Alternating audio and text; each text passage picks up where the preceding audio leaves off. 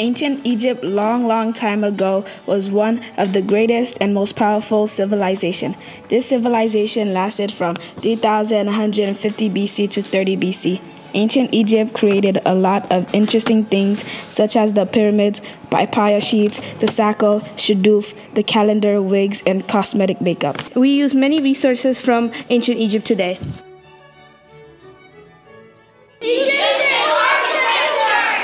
Peak of building pyramids began with the late 3rd dynasty and continued until the roughly 6th. More than 4,000 years later, the Egyptian pyramids still retain much of their majesty, providing a glimpse into the country's rich. Most people believe that slaves only built the pyramids, but that's not true. Off season farmers and slaves built the pyramids to make a living. The materials that were used to build pyramids were great basalt, gypsum, and baked mud bricks. At the spiritual level, the pyramid is a symbol for the integration of self and stone. The ancient Egyptians saw the shape of the pyramids as a method of providing new life to the dead because the pyramid represented the form of physical body emerging from the earth and ascending toward the light of the sun.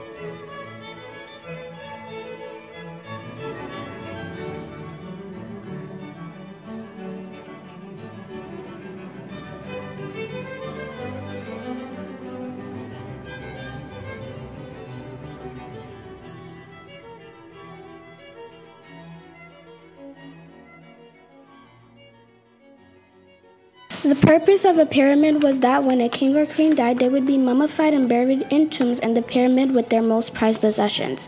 The kings and queens would be buried with their most prized possessions, which was jewelry, because they would travel to the afterlife style.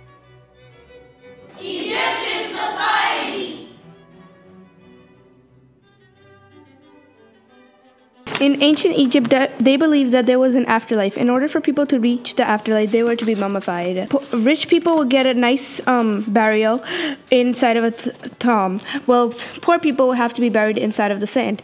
Mummy facts: The pharaoh's brain brains were removed from their nose. The organs were put in a unique jar to protect them. The mummy wore a mask and and was protected by curses. Step 1 of mummification announcement of the death. A messenger was told to inform the death of the mummy. Step 2 embalming the body. Step 3 removal of the brain. Step 4 internal organs removed. Step 5 drying the body out. Step 6 wrap the body in linen. Step 7 final procession the liver, lungs, stomachs, and intestines were washed and packed in natron, which will dry them out. The heart is not taken out of the body because it is the century of intelligence and feeling, and the man will need it in the afterlife. A long hook is used to smash the brain and pull it out through the nose. In ancient Egypt, when a king, aka Pharaoh, died, it was thought that he slash she would be sent to the sent in to the afterlife. Tut's penis was mummified at a 90 degree angle to protect him in combat in the afterlife as erect. The process of mummifying the dead began in ancient Egypt c. 300 300,000 BC. The word mummy comes from the Latin word mum, mummia, which is derived from the Persian mum, Mummies, no brainer. It was once thought that Egyptians used a hook to take away the brain through the nose while embalming the bodies. However, it seems the brain was never taken away and it stayed intact. Egyptian embalmers were so skilled that the people mummified 4,000 years ago still move, still have skin, hair, and recognizable features such as scars and tattoos.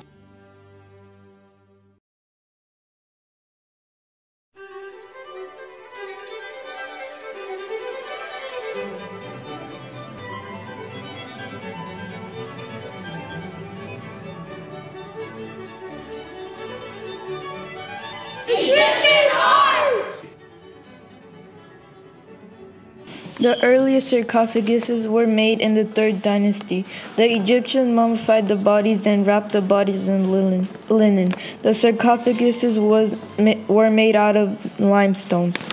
The ancient pharaohs got buried in a coffin, also known as sarcophagus, in ancient Egyptian times. The sarcophagus acted like an outer shell. The ancient Egyptian sarcophagus was, is synonymous with the artifacts found in Egypt.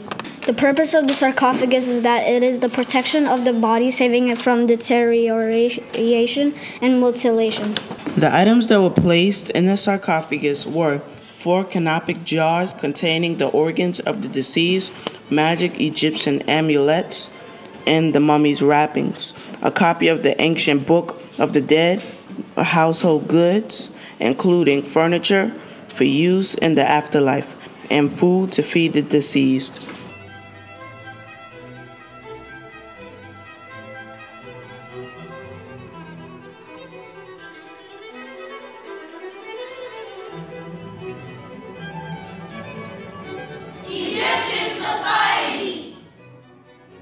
The ancient Egyptians also used makeup. Makeup was very important in ancient Egypt. The makeup would help if the sand was about to be caught in the eyes, it would instead be caught in the makeup.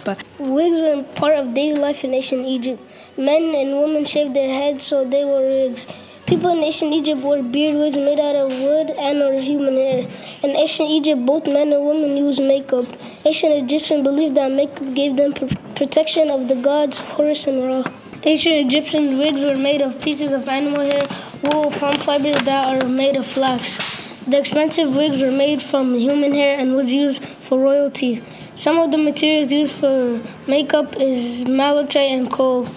Ancient Egyptians used black eye cover to block the sun from coming to their eyes. In ancient Egypt, children did not wear wigs. Girls wore the hair braided or wore pigtails. They wore beard wigs in ancient Egypt because it's a symbol of paraminic power. It's worn to show th- that they are living on God's earth. In 4000 BC, these Egyptians used material in a specific order for their makeup. Men and women wore a large amount of makeup every day. Around 2000 BC, the Egyptians improved the oxygen plow, plow by hooking it to a team of oxen.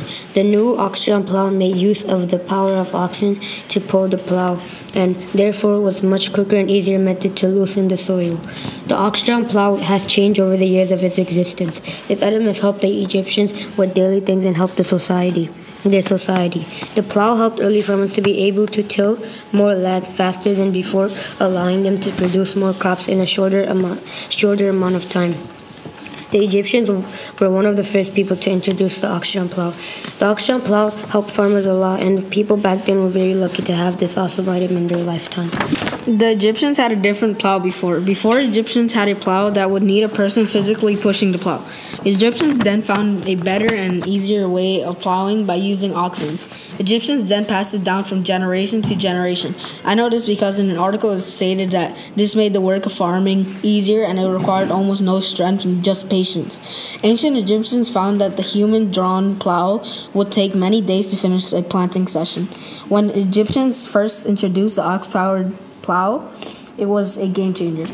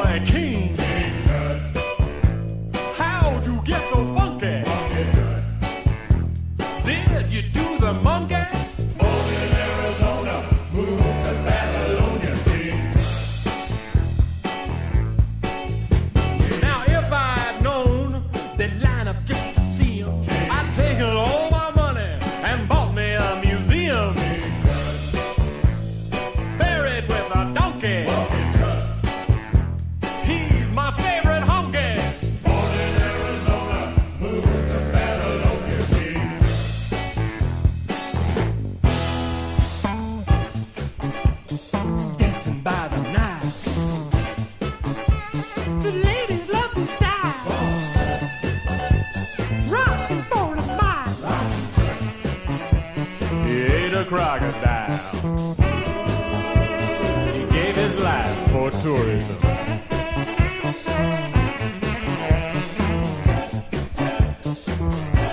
Golden idol.